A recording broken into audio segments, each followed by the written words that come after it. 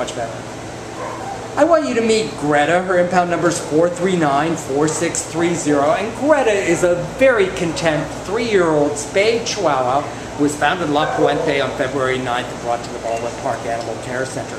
She weighs nine pounds, this spayed, beautiful girl, and she's just the perfect lap dog.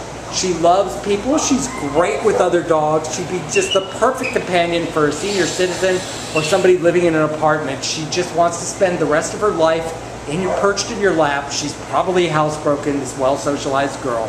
So please come and get her. She's good to go home today. This is Greta from the Baldwin Park Animal Care Center.